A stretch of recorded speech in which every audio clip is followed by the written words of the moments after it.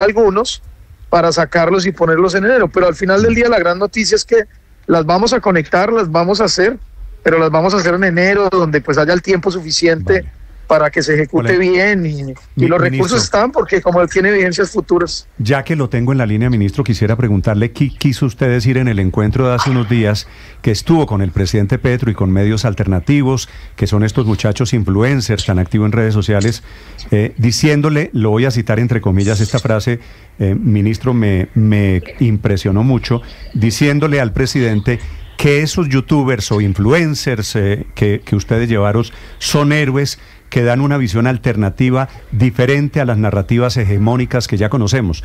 ¿Cuáles son las narrativas hegemónicas? ¿Qué quiere decir esa frase, ministro? No, primero no, no eran youtubers. Yo creo que ahí hay un, ahí hay una confusión sobre lo, lo, que quiera. No, no, no, no, no, son, eso, eso no es cierto. O sea, la, la, el evento que nosotros hicimos fue de medios, de medios comunitarios y de medios alternativos. Y de influencers pagados. allá vi, allá vi a Wallis y compañía. No, no, pero ellos eran, el, ellos fueron porque pues acompañan los eventos del presidente y fueron 10, digamos, y fueron 10, digamos, de los que todo el mundo conoce, o 5, no fueron más de 10. Eh, realmente el evento era la construcción de la política pública de los medios alternativos, de la radio comunitaria, de la de la radio comunitaria y de la y de la televisión comunitaria. Fue una selección muy realmente Duramos ocho meses planeando ese, ese evento. Muy ideológica, porque llevaron al corazón No, eso es lo que eso es lo que le quiero decir. Eso es lo que la gente vio, en la, eh, lo que la gente percibió, pero realmente no fue así. Yo le puedo asegurar, porque yo hice, yo trabajé ese proyecto durante ocho meses. por eso le estoy preguntando. Pero, ministro, y por eso, quiero decir, por eso usted, le estoy usted está en el derecho, ministro, de, de llevar allá, de privilegiar a los medios que le parecen amigos. Me parece que eso. No, eso es lo que le estoy diciendo que no fue cierto. Eso es lo que les estoy diciendo. Eso no fue un, eso no fue un evento de medios amigos ni ideológicos, entre otras cosas, porque ¿cómo sabe uno cuál es medio? Los medios pero ¿cómo sabe uno honesto cuál es medio amigo y cuál es no entre dos mil medios? Quiero preguntarle. el ministerio tiene dos mil medios inscritos. Ministro, ¿cuál es el discurso suyo ahora contra los medios hegemónicos?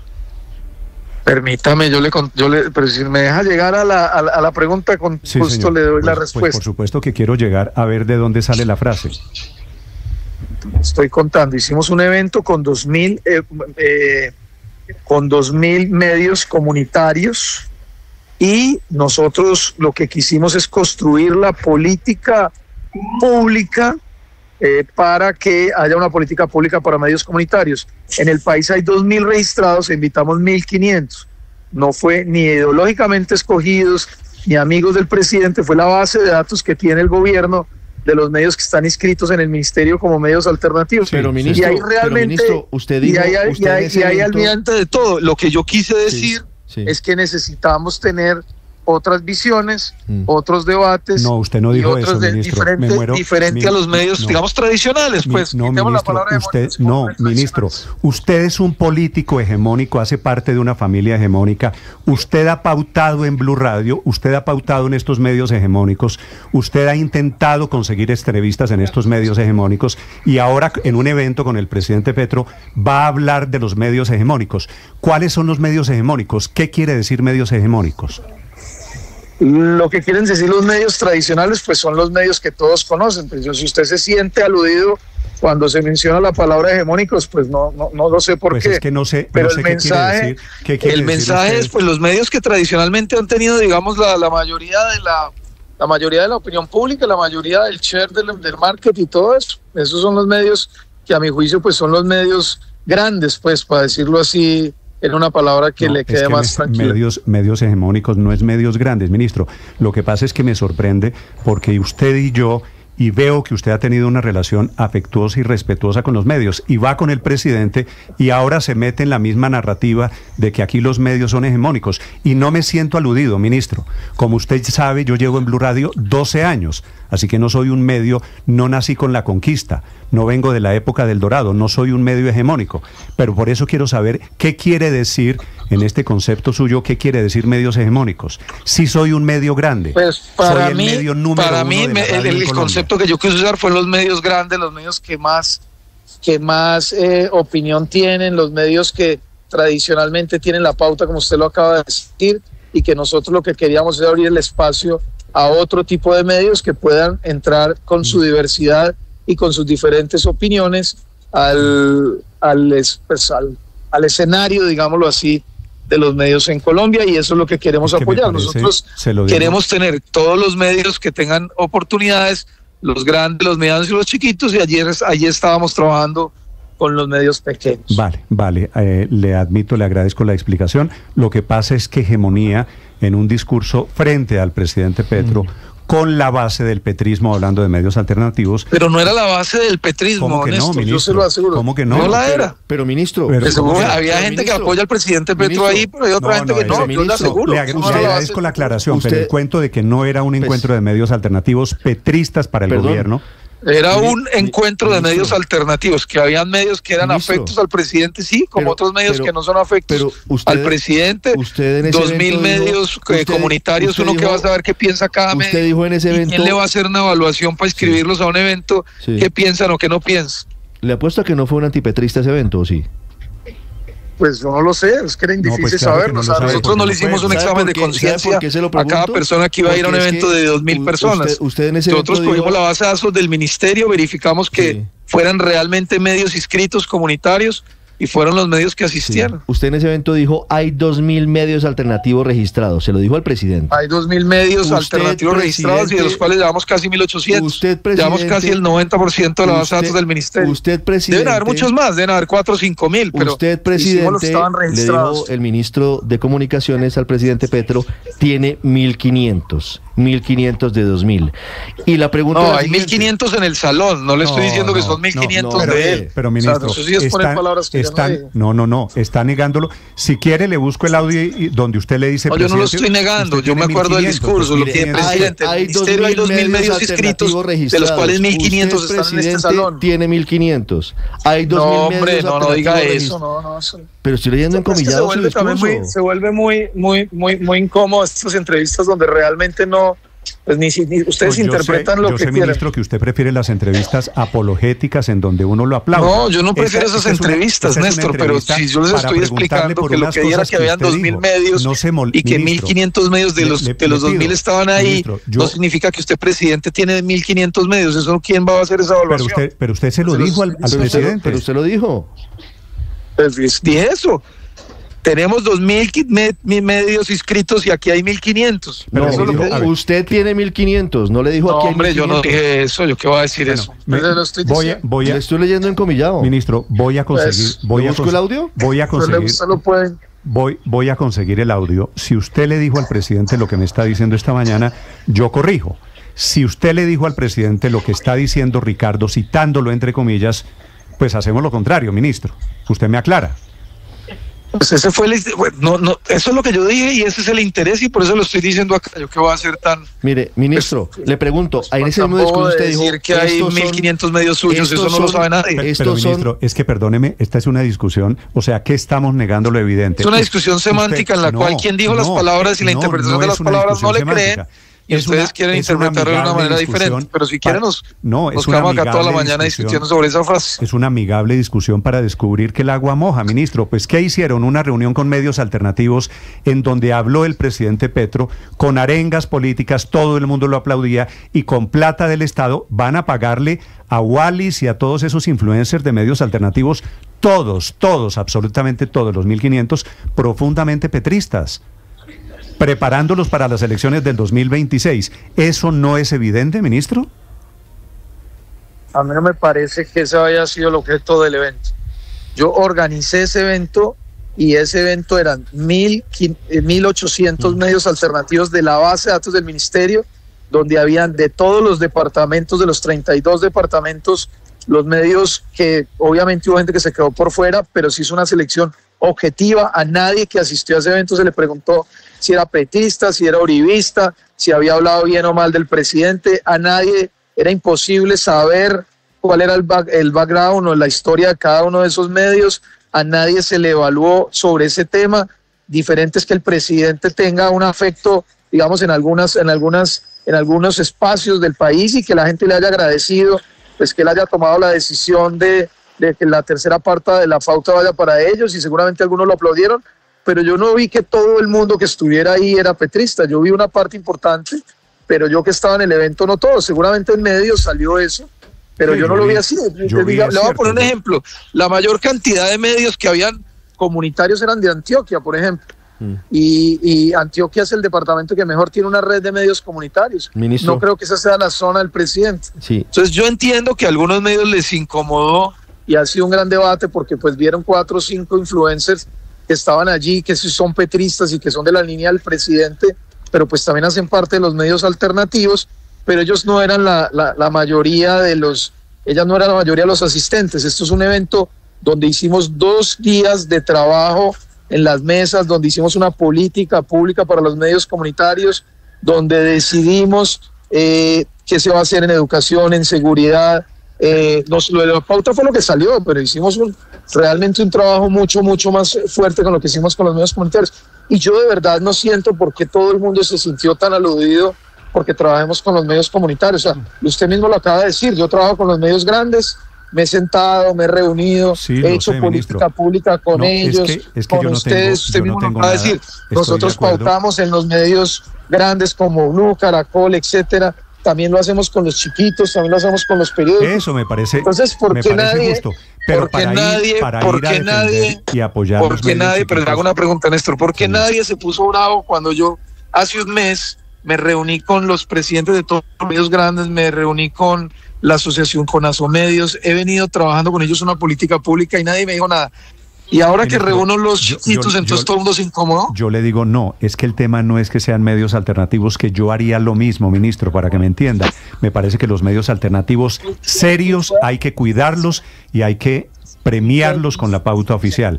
De ahí a que un youtuber, a un influencer, a un tuitero sea un medio alternativo, yo creo que hay una diferencia enorme, que se llama verdad y rigor. Lo otro es ideología y es activismo, que me parece que es diferente.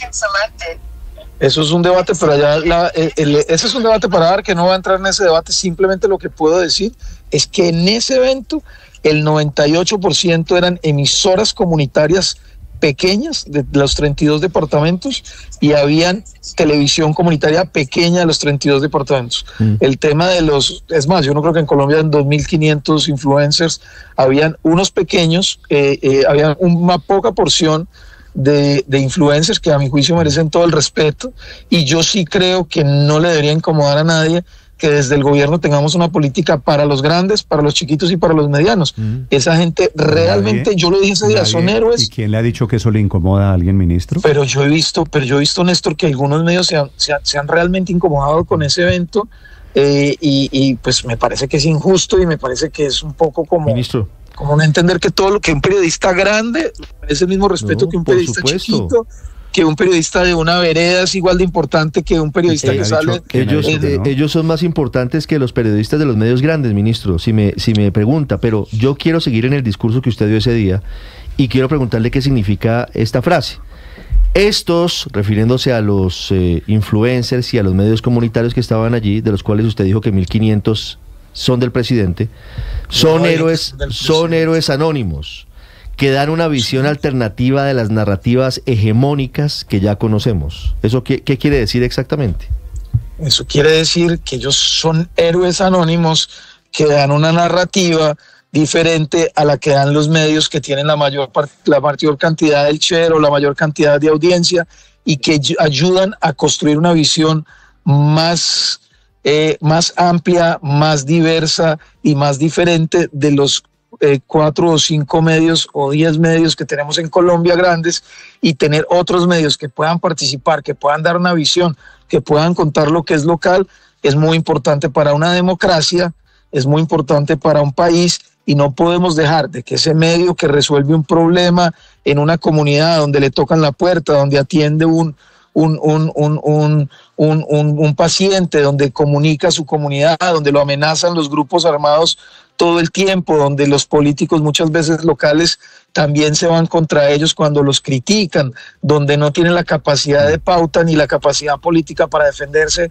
eh, eh, o económica como lo pueden hacer ustedes, pues puedan vivir también en esta democracia y no poder depender solo de cuatro o cinco medios grandes que que tiene la opinión pública. Necesitamos construir más diversidad, más variedad y que los medios pequeños y, tengan también una oportunidad. Esa es la política del gobierno y eso es lo que yo quiero como ministro. Desde Blue Radio. Yo no quiero ni que se acaben los grandes, pero tampoco ni que se acaben los chiquitos. Desde Blue Radio, ministro, le voy a decir solo una cosa con el mayor respeto y afecto. Una cosa es medio alternativo y una cosa es periodismo y periodismo desde las regiones y desde medios pequeños y otra cosa es propaganda.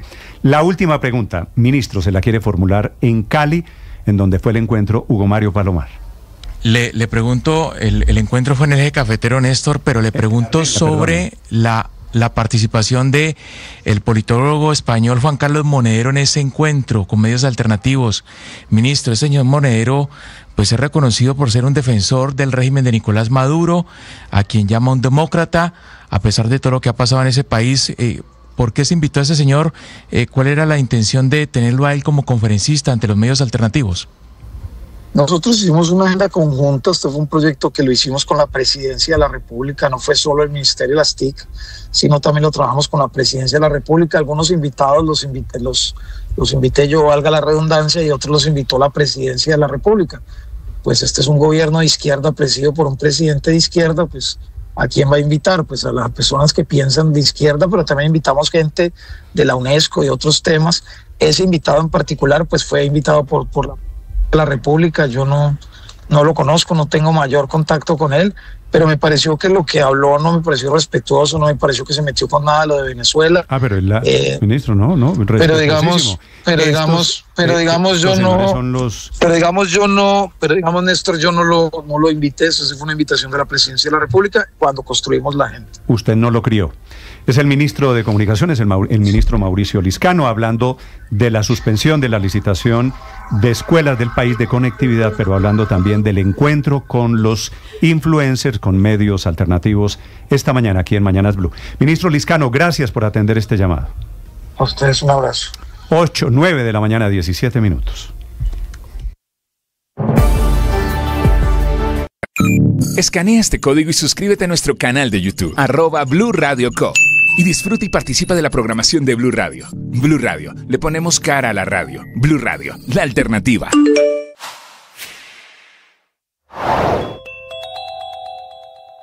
A menos de un mes de la COP16, la más importante cumbre de biodiversidad en el mundo, Colombia tiene cifras en rojo en materia de protección del medio ambiente. Son las cifras de deforestación de bosque, más de 100.000 hectáreas que están afectadas a pesar de los esfuerzos por protegerlos. La tala indiscriminada de bosques se concentra en un 81.5% en los departamentos de Meta, Caquetá, Putumayo y Chocó. Los cuatro departamentos reúnen 128.902 hectáreas de bosques que a hoy han sido talados. El dato confirma el pronóstico del Ministerio de Ambiente que indicaba que aunque el 2023 había una leve recuperación, una disminución entre las cifras entre el 25 y el 35%, para el 2024 se temía lo peor, un aumento en más del 40%. Los datos que no son buenos fueron revelados por el Contralor General Carlos Hernán Rodríguez en la sesión de la Asamblea de las Entidades Fiscalizadoras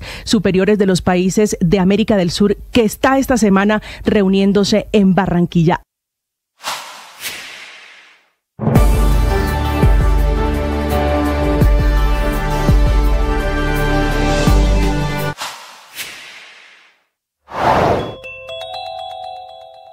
¿Qué tiene que hacer Colombia para ser incluido nuevamente en el grupo Egmont, donde se comparte información de inteligencia entre diferentes países?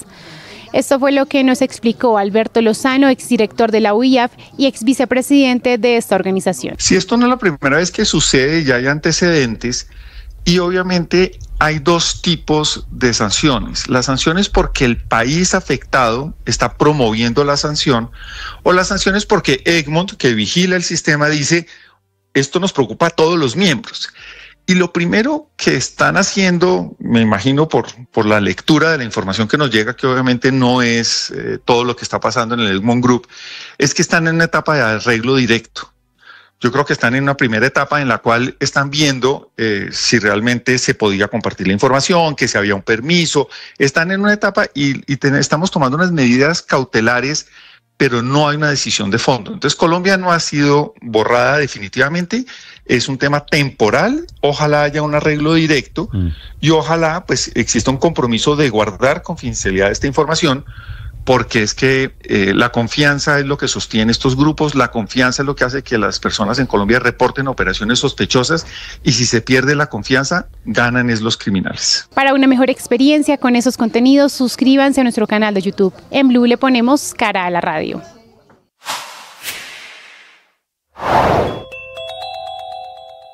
La divulgación en una locución televisada por parte del presidente Gustavo Petro de un documento de inteligencia financiera israelí sobre la presunta compra irregular del software espía Pegasus por parte del gobierno de Iván Duque en 2021 acaba de pasarle una dura factura a Colombia en la lucha contra el lavado de activos y la financiación de grupos terroristas.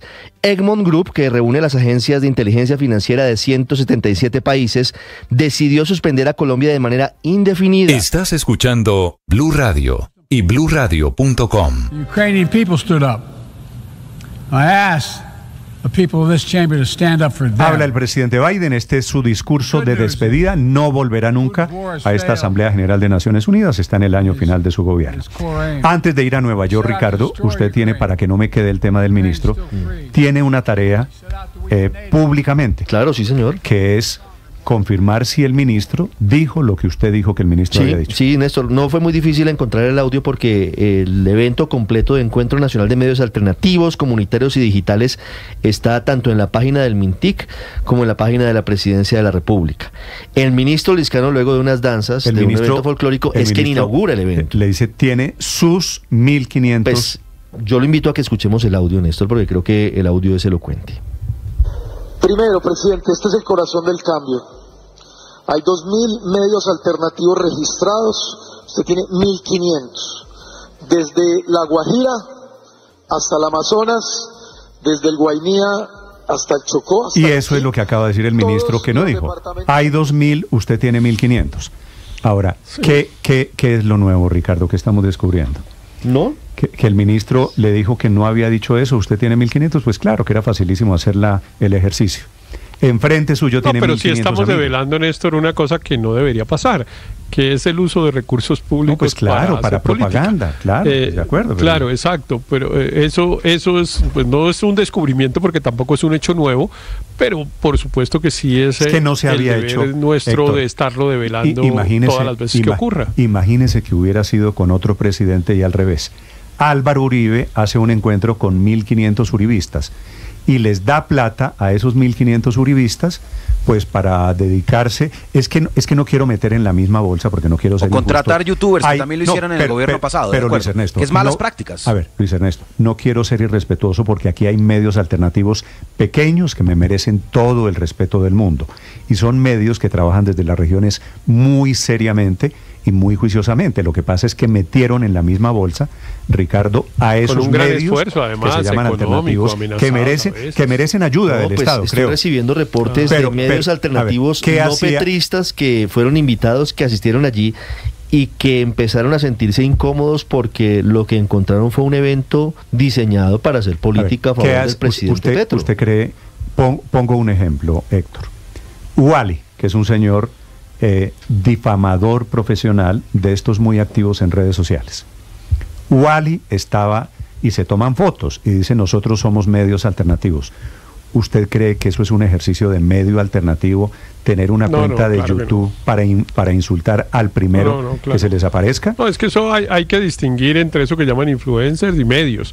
Eh, porque medios, pues medios alternativos, quiere decir seguramente medios pequeños, eh, que no pertenecen a, cadenas, etcétera, eh, que hacen un, hacen un ejercicio periodístico con, la ellos, de las veces muy, muy valioso. tengo lo hacen en unos contextos dificilísimos, además porque los hacen en unos contextos dificilísimos por razones económicas primero, pero segundo por persecuciones Muy políticas, etcétera. Y eso requieren y eso requieren claro, como usted dice, Néstor, apoyo, pero eh, pero aquí hay una cosa importante, mire, los recursos públicos tienen que dirigirse o bien a que produzcan un resultado concreto en términos de difusión de un mensaje, eh, que, es, que, es, la publicidad oficial, llamémoslo así, que tiene unas restricciones y unas obligaciones, pero usted no la puede poner en cualquier parte, porque usted no la puede poner en un medio medio que tenga muy poca audiencia y si la pone con poca en un medio con poca audiencia la pone con otro criterio que es ayudarle al medio. Claro, claro, pero ese es otro criterio ya ese es otro objetivo no porque si el objetivo es que se oiga el mensaje del gobierno que le informen a la gente que hay que presentar la declaración de renta en el mes de octubre lo que fuera eh, pues eso hay que ponerlo en unos medios que tienen audiencia de los cuales hay muchos digitales claro por supuesto y ahí incluso cabrían influencers. Hay gente que tiene 5 millones de seguidores en Instagram, pues claro que no está mal que el gobierno le diga a uno de esos, oiga, diga ahí que no se les olvide presentar la declaración de renta. el, tema no es que sean digitales o influencers, el tema es si son serios o si se dedican al ejercicio de la propaganda, que es en lo que veo que están muchos de estos influencers que, se presentan y se camuflan, se ponen el camuflado y se vuelven, se presentan como serios a la hora de hacer contratos con el Estado, pero son nada más que, que habla basura, habla carreta profesionales que son activistas este es un dedicados a la propaganda, propaganda este que es un fenómeno no solo de Colombia, tanto le choca al señor presidente Gustavo Petro. Ellos este están haciendo lo mismo. Esto es un fenómeno que no es solo de Colombia y es eh, propio de los extremos. En Estados Unidos vimos todos los medios alternativos propagandísticos que apoyaban en su momento a Donald Trump en su candidatura y vimos en Francia eh, un trino además que citó el, presidente Petro ayer eh, hablando con otro propagandista de España diciendo que es que la izquierda tiene ahora que comprar medios, tiene que tener sus propios medios, la izquierda y aplica lo mismo para la derecha para defenderse de todas las mentiras de los medios tradicionales o hegemónicos. Y está clarísimo que si el Estado, llámese Colombia, eh, Estados Unidos o Francia, va más allá de simplemente utilizar el recurso público para pautar, llame pautando en un medio pequeño o en un medio grande, para que ese medio tenga la financiación para hacer periodismo, para hacer su agenda mediática como le parezca, con la independencia que, eh, que defiende la Constitución y la ley. Si eso va más allá y sugiere el contenido, eso se llama propaganda. Eso ya deja de ser medio alternativo. Eso se llama es básicamente comprar contenido. Y eso lo hacen las empresas. Las empresas compran contenido en un, a un youtuber, a un influencer. Pero cuando se trasciende esa línea, con recursos públicos estamos hablando de utilización del Estado y de la plata de todos los contribuyentes para hacer propaganda y eso no se debería permitir ni en la derecha ni en la izquierda. Muy bien, me, llama la atención señora esa división que hace el, el ministro sobre medios hegemónicos y medios alternativos porque precisamente el domingo en Los Informantes se hizo una historia sobre un periodista asesinado, Rafael Moreno, eh, que precisamente un sicario lo mató por unas denuncias que estaba haciendo en Montelíbano sobre recursos públicos y la familia Calle, en fin. Eh, lo, que se dice es que, lo callaron precisamente con la muerte. Mm. Y esto salió en un medio hegemónico. Entonces me parece paradójico porque pues salió en noticias en, el, en el canal Caracol, en, el, programa de, en el programa de María Elvira Arango, Los Informantes, además una historia muy, es que eso es cuento. triste. María, María, Consuelo, me dicen aquí algunos oyentes, Ricardo, que si me sentí aludido cuando el ministro dijo medios hegemónicos, pues me siento aludido porque se lo digo con mucho orgullo, este es el programa número uno de la radio en Colombia.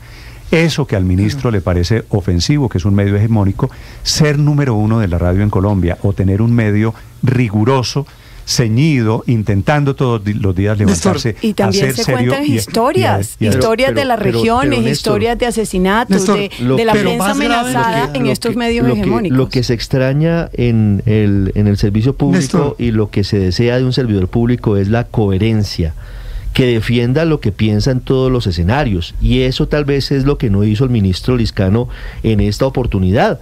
El ministro Liscano es un político tradicional, viene del partido de la U, ahora creó su movimiento que es gente, eh, permítame la redundancia, gente en movimiento.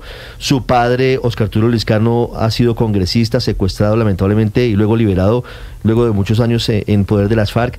Ha sido un político tradicional que ha formado parte, si él nos pone en esos términos, de una familia, de una familia hegemónica. Muy bien. Y eh, ha estado en todos los escenarios, en lo que él llama escenarios hegemónicos y con el presidente Petro entonces critica de dónde viene y en dónde se ha hecho. Aurelio, escucho, usted, usted es Aurelio, un panelista hegemónico, lo escucho, señor. Gracias, Néstor. Néstor, mire, eh, más grave que la frase, aquí tiene 1500, es una que dice antes, en la grabación se oyó. Mm, ¿Cuál es? Aquí está el corazón del cambio. Aquí tienen los 1500 pues que, son el corazón del cambio. Era un acto de propaganda. o sea que, que es clarísimo que lo que él trató de negar con la interpretación que le da a la referencia, aquí tiene 1500, antes le dice el corazón del cambio. O sea, que estas son las que nosotros vamos a darle la pauta del 33,33%, como dijo Pedro en el acto, para poder tener una caja de resonancia del gobierno. ahora, el acto fue político de Petro, pero también de Liscano. No se le olvide que el señor Liscano se ha gastado en autobombo 29.660 millones de pesos. y yo le hice un derecho. En autobombo con los medios hegemónicos, ¿no? Con los medios hegemónicos. Y yo le hice un derecho de petición y me contestó con tres bobadas. Pero me llegó la respuesta que a la sazón sí le dio a la Contraloría General de la República. 22 páginas de acto en tal lado, de acto en tal otro, de acto en tal otro y de acto en tal otro, pagando logística para eso. Entonces, yo creo que el ministro Liscano tiene que ser muy claro con el país. ¿Él está en campaña o no está en campaña? Pero, Aurelio, si está en campaña política, que nos diga. Reconozcamos que es un debate interesante en esta época de influencer, de tanta actividad en redes sociales.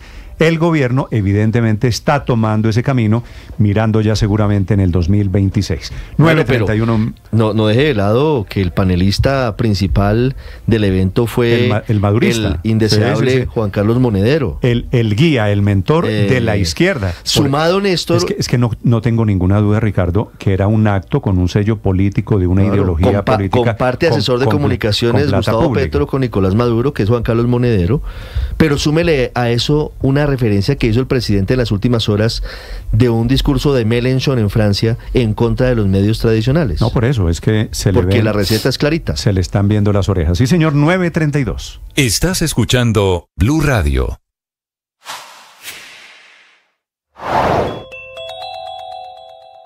Una de las polémicas del día corre por cuenta de una ambigua circular de la Superintendencia de Salud que reconoce los derechos de la población trans para acceder a los servicios en todo el sistema.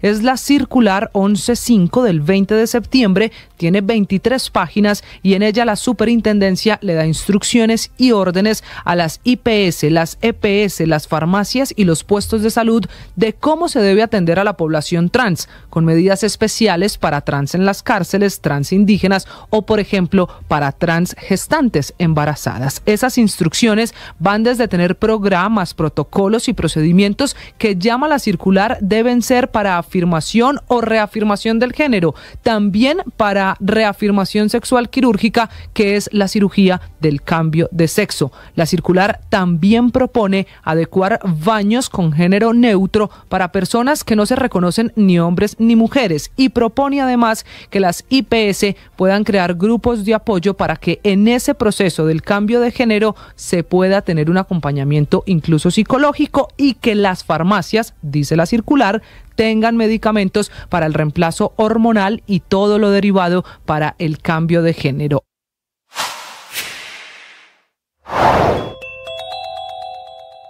será radicada la reforma política, segundo intento del gobierno Petro, por cambiar reglas del sistema electoral en Colombia. El gobierno va a proponer cambios en la conformación del Consejo Nacional Electoral. 9.34 minutos desde Nueva York, el presidente Biden ante la Asamblea de Naciones Unidas. I made the preservation of democracy the central cause of my presidency. This summer, I faced a decision whether to seek a second term as president. Ahora habla de política interna, de la decisión que tomó este verano, renunciando a la posibilidad de un segundo mandato. Ha hablado esta mañana de la guerra en el Medio Oriente, ha hablado de la guerra en Ucrania, desde los Estados Unidos. Juan Camilo Merlán. Hice de la preservación de la democracia un punto central de mi gobierno, dice el presidente Joe Biden, Néstor, introduciendo este punto sobre su determinación de no buscar la reelección. Esta es su última participación como presidente de los Estados Unidos ante el Pleno de la Asamblea General de las Naciones Unidas. Escuchemos otro fragmento ahora.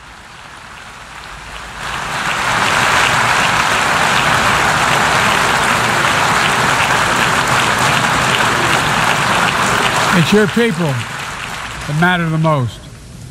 Never forget, we are here to serve the people, not the other way around. Estamos aquí para servirle al pueblo, no al contrario, dice el presidente Joe Biden, quien hizo un balance, bueno, primero al, subir a la tril recordó que sí, que era su última vez que se dirigía ante la Asamblea General, recordó su primera vez que asistió a la Asamblea General como un político de 29 años. Dijo que en ese momento el planeta enfrentaba un punto de inflexión con distintas guerras, en medio de la Guerra Fría, pero también Estados Unidos en la Guerra de Vietnam, y también destacó que ese punto de inflexión él cree que se está viviendo en la actualidad, con los retos que enfrentan los distintos líderes, la guerra en Ucrania, en Gaza, la hambruna, el terrorismo, la brutalidad, la crisis climática y la democracia en riesgo. Dice el presidente Joe Biden que las determinaciones que tomen los líderes del mundo en estos momentos mandará eh, marcará el punto de inflexión hacia los próximos años. Mencionó, por supuesto, la guerra en Gaza. Octubre 7, los atentados o el acto terrorista por parte de Hamas en contra de de más de mil israelíes asesinados y dice que, que la población en Israel, que ellos, particularmente el 7 de octubre, vivieron el infierno pero que los civiles inocentes en Gaza también están viviendo un infierno hoy en día. Que hay una cantidad de familias que no pidieron la, buscar o que no pidieron enfrentar el tipo de situaciones de guerra que están enfrentando en estos momentos, que es el momento de que las partes finalicen el acuerdo del cese al fuego, que lleven a los a los civiles rehenes nuevamente a casa, que acaben con el sufrimiento y que acaben con la guerra y que también están determinados para evitar un mayor escalamiento de una guerra en Medio Oriente. De hecho, habló de una guerra a, gran escala a partir de lo que está sucediendo ahora en el Líbano. Dijo que Hezbollah, de manera, o más bien sin provocación, lanzó múltiples misiles en contra de Israel, que también han movilizado gente o han desplazado gente en la frontera y que la situación está escalando mientras que hablan, que el único camino es a través del diálogo, de la negociación y que se pueda llegar, que el progreso a través de la paz los llevará en la dirección correcta para hacer frente a otras amenazas. Allí se está despidiendo el presidente Joe Biden en esos momentos, también habló, por ejemplo, sobre... Eh, sobre la necesidad de, cumplir con los objetivos de desarrollo sostenible. Dijo que su administración ha invertido más de 150 mil millones de dólares para cumplir con esos objetivos. Y por supuesto, ya casi al final habló de la advertencia, o hizo una advertencia sobre lo que representa la inteligencia artificial, que no solamente marcará la forma de vida hacia el futuro de millones, de miles de millones de personas, sino también la forma de guerra de los países, de los gobiernos, y que deben tomar acciones conjuntas para aprovechar una gran oportunidad, pero prevenir los riesgos enormes de la inteligencia artificial. Es lo que dice el presidente Joe Biden. Esto.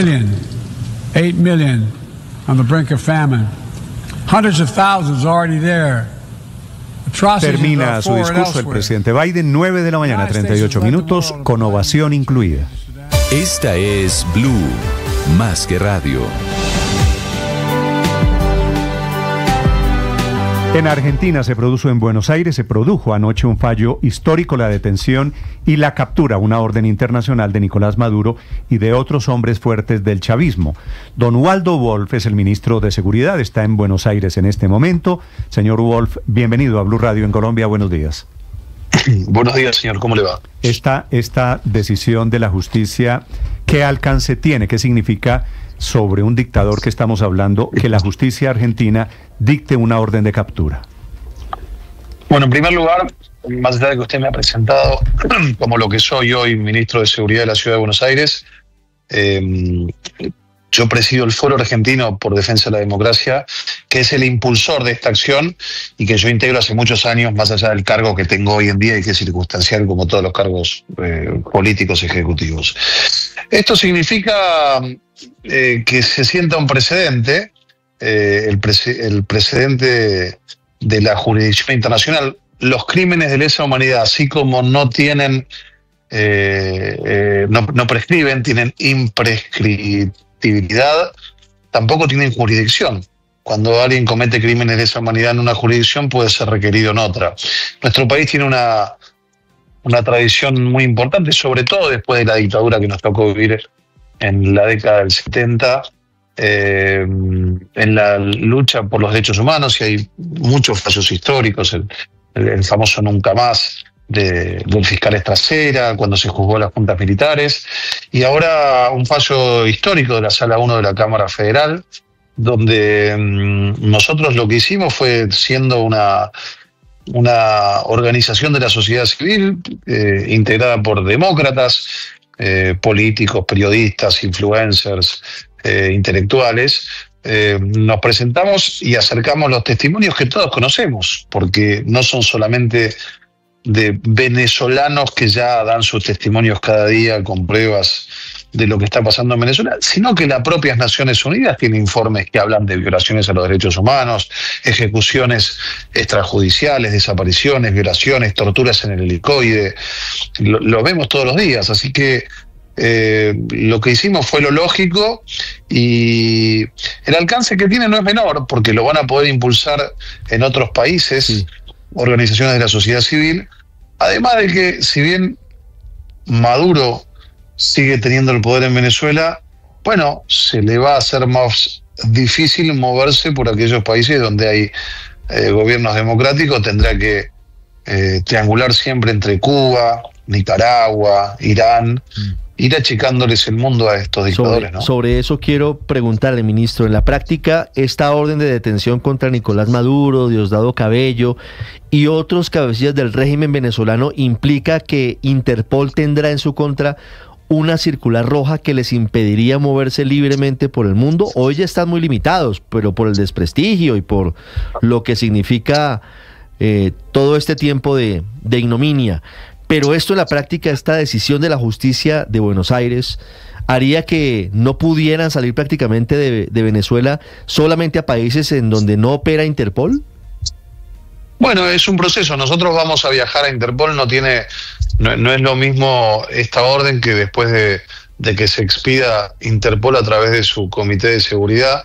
Le digo porque tristemente tengo la experiencia de haber participado en el pedido de capturas internacionales del caso AMI acá en la Argentina respecto de siete caníes que hoy tienen alertas rojas internacionales. Así que nosotros vamos a ir a Interpol a pedir que se profundice esta acción para que las alertas rojas en función de las pruebas que tenemos, que están en la justicia y que las conocemos todos, eh, estén en conocimiento de Interpol. Y también vamos a ir a, la CPI, a, la, Corte Penal Internacional, no sé qué están esperando, ¿no? Porque eh, si hay un caso donde hay una confesión de violación de derechos humanos es en, Venezuela. Digo, eh, lo confiesan todos los días, meten todos los días meten gente presa. No es el único lugar, pero bueno, en este momento eh, está claro que es el éxodo más grande del mundo, que han hecho elecciones y ni siquiera se han tomado el trabajo de fraguarlas, directamente las desconocieron, ni siquiera han presentado las actas. Así que sí, ese es el camino que sigue. Son las 9 de la mañana y 43 minutos. Es el ministro de Seguridad de la ciudad de Buenos Aires con nosotros, uno de los impulsores antes de ocupar este cargo desde la sociedad civil de este proceso en contra de Nicolás Maduro y de la cúpula chavista por crímenes de guerra y de lesa humanidad. Señor ministro Waldo Wolf, muchas gracias por estos minutos para Blue Radio en Colombia. Gracias a ustedes, que tengan buen día.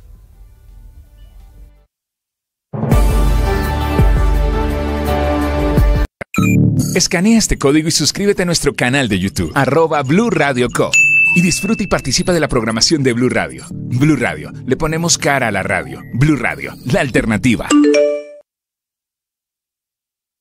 Toda experiencia espiritual es una oportunidad para encontrarnos con nosotros mismos y tener conciencia de que somos dueños de nuestra vida. A mí me gusta aquella expresión del poema Invictus, ser capitán de mi alma eso lo logramos cuando espiritualmente trascendemos y tomamos conciencia de que la vida tiene sentido, de que la vida vale la pena vivirla. El oracional El Man está vivo es una de las rutinas, una de las herramientas que tengo para entrenarme espiritualmente. Ojalá tú hoy puedas tener la tuya y puedas crecer y seguir adelante. Tú sabes.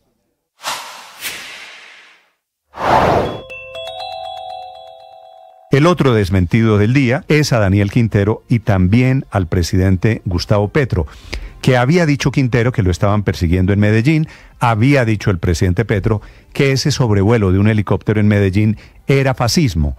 su ministro de Defensa, el director de la policía, le aclaran al presidente Petro y a Quintero que el sobrevuelo fue una operación rutinaria, que no estaban persiguiendo a Quintero, que aquí no hay fascismo, que no está la policía detrás de la salida de la familia de Quintero de Colombia.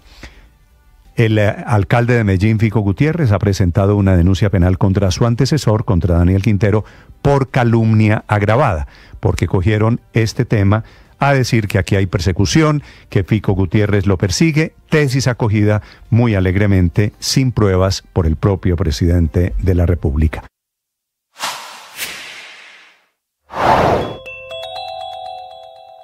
Hablando del presidente Petro, el costo de su imprudencia, dice el presidente Petro, el costo de la verdad. No, el presidente Petro hubiera podido manejar la denuncia sobre un supuesto software espía Pegasus, la hubiera podido manejar con discreción, pero salió a hacerla pública en el horario triple A de la televisión colombiana, denuncia que no ha sido ni siquiera confirmada por funcionarios de su gobierno, y eso cuesta que hoy el Egmont Group, que es el sistema de 177 países en el mundo, ha confirmado que suspende a Colombia y que le niega el acceso a información confidencial y secreta.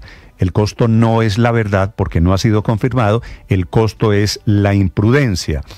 La declaración del presidente fue hace tres semanas, dijo que no obedece a Israel y por eso es castigado por este grupo de países que desde hoy le dicen al presidente Petro, Colombia no es confiable, no compartiremos información con su gobierno.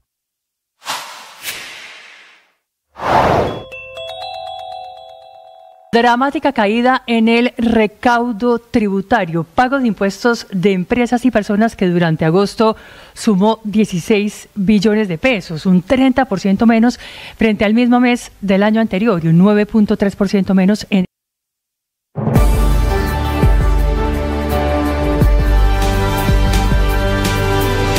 9 de la mañana, 47 minutos. A esta hora la información deportiva con TCC en Mañanas Blue.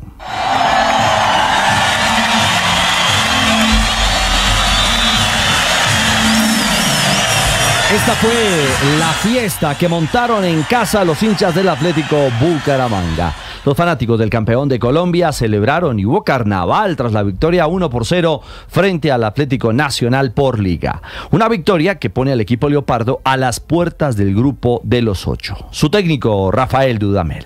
Para destacar todo, desde la dinámica, la intensidad con que hemos jugado hoy, el equipo plantó cara a un rival que necesitaba limpiar su imagen y la idea era no poder darle esas ventajas. Bueno, la otra cara la vive Atlético Nacional. El club verdolaga no despega en la nueva era del mexicano Efraín Juárez. Tras la derrota, la pregunta al entrenador por la alineación de los jugadores parranderos, que fueron, comillas, castigados, cierro comillas, por irse de fiesta en Valle Dupar después de un partido por Copa Colombia. Ya hablamos de eso, me parece que lo, dejé muy claro el partido pasado. Tengo un grupo de 26 jugadores que pueden rotar. Muchos pueden, todos, todos tienen la oportunidad de ser titulares, todos tienen la oportunidad de ser suplentes, todos tienen la oportunidad de, de, que decida quién, va, quién, no, quién no va a la banca, ni a la banca, convocado. Es un tema de rotación, estamos jugando cada 48 horas prácticamente y el partido pasado roté, este partido también y seguramente el siguiente lo haré. ¿No hubo castigo, castigo para esos jugadores que se portaron mal? Volvemos a lo mismo. Ya, ya platicamos de eso, el club sacó un comunicado.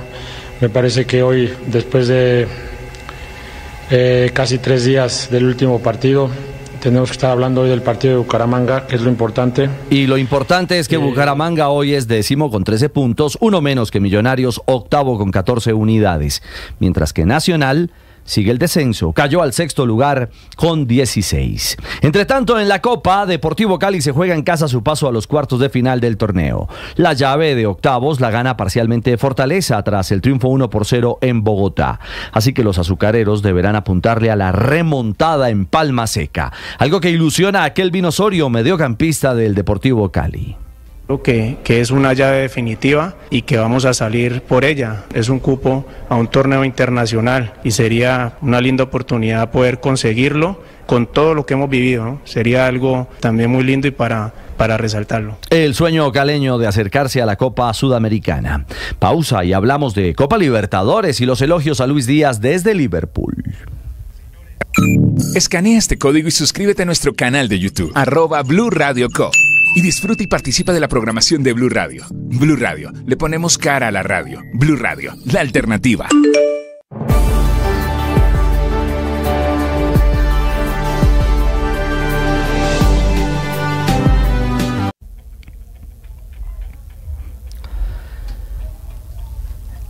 Es el himno de la Conmebol Libertadores, que hoy tendrá tremendo duelo en cuartos de final. River Plate recibe al Colo Colo de Chile en Buenos Aires.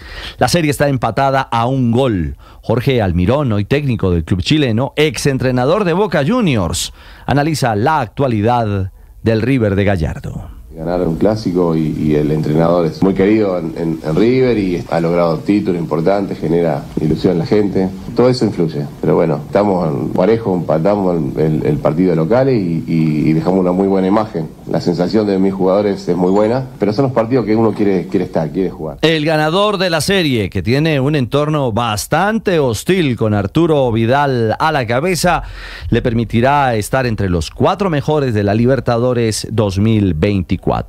Y en Inglaterra, hoy habló el técnico del Liverpool, Arne Slot, y elogió el momento del colombiano Luis Díaz, quien anda volando en la Liga Premier. En los últimos 8 o 10 años yo solo vi a jugadores con mucha motivación. Creo que por aquí han pasado entrenadores que fueron intensos con y sin balón. Así que no lo veo a Luis diferente. Para mí él está igual de motivado como siempre lo he visto. Siempre ha sido un jugador muy agresivo y es lo que sigue siendo. Lucho y Liverpool se alistan para jugar mañana frente al West Ham por la Carabao Cup. Y en España la liga va a toda velocidad. Hoy Real Madrid, que es escolta del Barcelona en la tabla, se mide al Deportivo a la vez. Un juego récord para el técnico Carlo Ancelotti, que llega a 300 partidos al frente del club merengue. He tenido la suerte de entrenar grandes clubes y yo personalmente lo más grande, uno porque en Milán ha sido jugador entonces tengo un cariño especial por este club como jugador y como entrenador en Real Madrid porque he tenido la suerte de hacer 300 partidos en el mejor club del mundo. Eh, sobre esto no hay ninguna duda. Hacerlo por 300 veces, no digo que es un milagro, ma casi pero es gigante. Carleto guía al Madrid sin fecha de caducidad. Y hay buenas noticias para Colombia en los mundiales de ciclismo de ruta en Zurich 2024. La paraciclista Paula Caballero Pérez se llevó hoy la medalla de bronce en la prueba de contrarreloj C3 al cronometrar 28 minutos 46.18 segundos.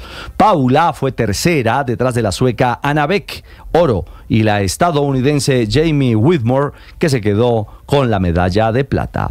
Con las noticias del paraciclismo, cerramos la información deportiva 953 en Mañanas Blue. Estás escuchando Blue Radio. Todas las emociones tienen una función de adaptabilidad. Gracias a ellas sabemos responder a los estímulos que recibimos de nuestro entorno. Por eso lo primero es aceptar las emociones y tratar de gestionarlas de la mejor manera posible. Una de ellas es el miedo, que nos ayuda a prepararnos físicamente, emocionalmente, intelectualmente ante las amenazas que podemos descubrir en nuestra vida. El miedo es sano y por eso lo tenemos que aceptar. No es sano cuando nos paraliza, cuando está producido por un hecho que no existe, cuando es irracional, cuando nos lleva a actuar de manera desproporcionada. Por eso hoy tres cosas. Acepta el miedo. Gestiónalo de manera inteligente. Trata de responder con mucha responsabilidad. Y por favor, rétate a descubrir que siempre puedes salir adelante.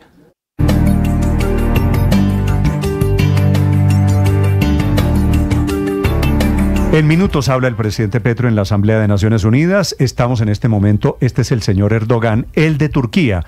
Habló el presidente Biden, aquí tienen un orden construido, un orden que dice el presidente Petro será el séptimo de hoy. El presidente Petro ya tiene listo su discurso, ya llegó a la Asamblea de Naciones Unidas, que tiene sede en Manhattan, en Nueva York. Desde allí informa Catherine Ávila.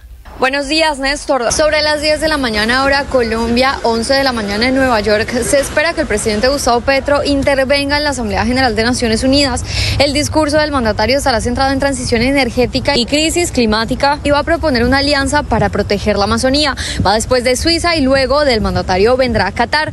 El primer bloque de intervenciones eh, comenzó con el presidente de Brasil, Luis Ignacio Lula da Silva, quien centró su discurso en transición energética, cambio climático y democracia. También lanzó una propuesta para replantear el Consejo de Seguridad de la ONU. Y Naciones Unidas cada vez están más vacías y paralizadas. Ha llegado la hora de reaccionar con vigor a esta situación y restaurar las prerrogativas de la organización dimanantes de su condición de foro universal. Los ajustes aislados no bastan. Tenemos que plantearnos la revisión total de la Carta y esta reforma debería incluir los siguientes objetivos transformar el Consejo Económico Social para convertirlo en el primer foro que aborde las cuestiones de desarrollo sostenible y la lucha contra el cambio climático, con una verdadera capacidad de inspirar a las instituciones financieras, revitalizar el papel de la Asamblea General también en cuestiones relativas a la paz y la seguridad internacionales, fortalecer la Comisión de Consolidación de la Paz, reformar el Consejo de Seguridad, un discurso muy en la línea del multilateralismo como clave para superar la crisis climática. Es precisamente eso el tema del que hablará el presidente Gustavo Petro en una hora, pero además el mandatario reafirmará el acuerdo de Escazú ante los líderes mundiales. 9.56 en Cúcuta son atendidos los militares heridos luego de un atentado con explosivos cometido por los delincuentes del ELN en Teorama, en norte de Santander. Cristian Santiago. Un nuevo ataque fue perpetrado por la guerrilla del ELN en la subregión del Catatumbo, en el departamento norte de Santander. Guerrilleros activaron una carga explosiva al paso de tropas que hacen parte de la Fuerza de Tarea Vulcano y del Batallón Especial Energético y Vial número 21, que protegen activos estratégicos como el oleoducto Caño Limón Coveñas. Este lamentable hecho cobró la vida del soldado profesional Carlos Jesús Solano Miranda. Cinco de sus compañeros resultaron heridos, dos de ellos con gravedad, y fueron evacuados a la ciudad de Cúcuta, en donde reciben atención médica. Posterior a este ataque se presentaron combates que se extendieron por varias horas. A esta hora las autoridades hacen un recorrido por toda la zona para dar con el paradero de los responsables de este ataque que ocurrió sobre las 4 de la mañana. Y a pesar de que el ELN sigue cometiendo actos violentos, sigue matando militares en el norte de Santander y en Arauca, el gobierno tiene la rama de olivo tendida y le urge al ELN que envíe una señal de paz para reanudar los diálogos. Mateo Piñeros. Sí, señor Ricardo. El pasado mes de agosto expiró el cese al fuego bilateral con el ELN y desde entonces se han registrado varios actos terroristas por parte de ese grupo. El más reciente ya lo escuchábamos en Teorama, norte de Santander, donde un soldado fue asesinado, pero también recordemos que la semana pasada en Arauca otros tres militares murieron en otro ataque terrorista de la guerrilla.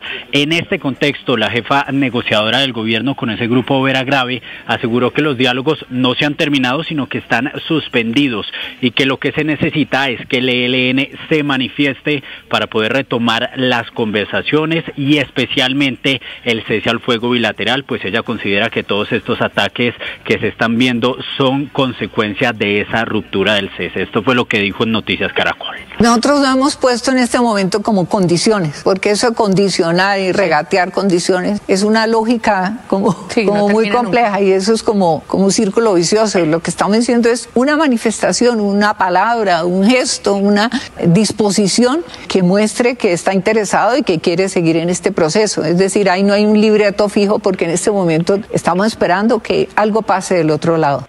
Ricardo Vera Grave también dice que necesita el gobierno que el ELN se comprometa con la paz, mientras que ese grupo sigue acusando al gobierno nacional por supuestos incumplimientos en la mesa de diálogos y además justifican estos ataques terroristas diciendo que son ataques legítimos.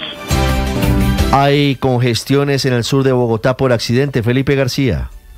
Hola Ricardo, sí señor, un grave accidente se registró hace apenas unos momentos en la autopista sur, exactamente en el sector de León 13, a la altura del municipio de Suacha, por eso a esta hora se registra una fuerte congestión vehicular, trancón interminable por este accidente en el que hay que decir falleció una persona luego de que un bus de los rojos lo atropellara al parecer y según versiones en el lugar, porque este hombre se lanzó a la vía tras robarse un celular, sin embargo Ricardo, esto es materia de investigación. En estos momentos, por el cierre de la calzada Transmilenio, me informa que está cerradas las estaciones de la despensa Despensa, León 13, Terreros y San Mateo, trancón entonces interminable en el sur de Bogotá.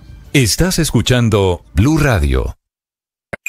Escanea este código y suscríbete a nuestro canal de YouTube, arroba Blue Radio Co. Y disfruta y participa de la programación de Blue Radio. Blue Radio, le ponemos cara a la radio. Blue Radio, la alternativa.